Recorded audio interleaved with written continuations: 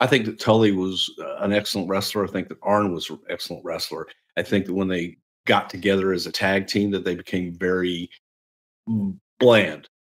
They were part of the Horsemen, and and when the Horsemen had all the individual titles, I thought that was that was cool because you had guys that had individual programs. Arn could stand on his own. Tully could stand on his own. I think that when Tully and Arn were together as a tag team, that they were out there to get beat.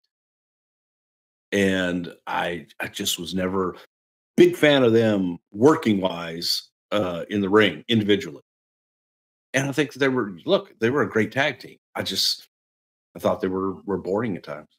Is that just because they didn't have an over the top gimmick like a demolition or something like that? And that was sort of what was called for in the WWF think, at the time?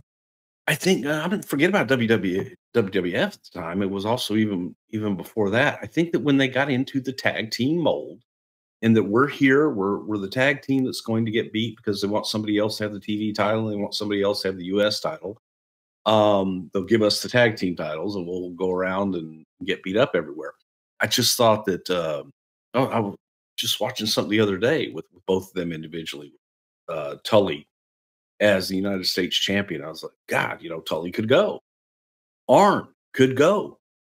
And I just like that. I like them singularly. I didn't like them collectively. I didn't think that they were. I think I think individually, anyone, either one of them could have headlined as a tag team. They could.